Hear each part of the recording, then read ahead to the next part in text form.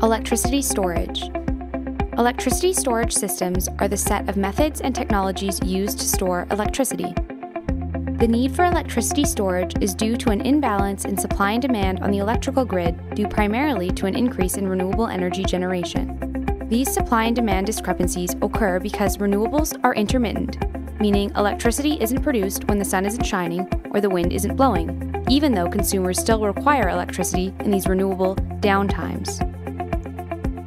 Currently, grids distribute electricity in real time, meaning electricity is being consistently produced to meet consumer demand. Electricity storage gives grid operators the flexibility to use electricity that otherwise would be wasted. This grid flexibility is highly sought after and has the potential to transform how we produce and consume electricity, and is therefore being widely researched and tested. There are many different forms of electricity storage, the most common being battery, pumped hydro, compressed air, and flywheel. Currently, the largest challenges in implementing electricity storage at the grid scale are the cost and the infancy of the technology.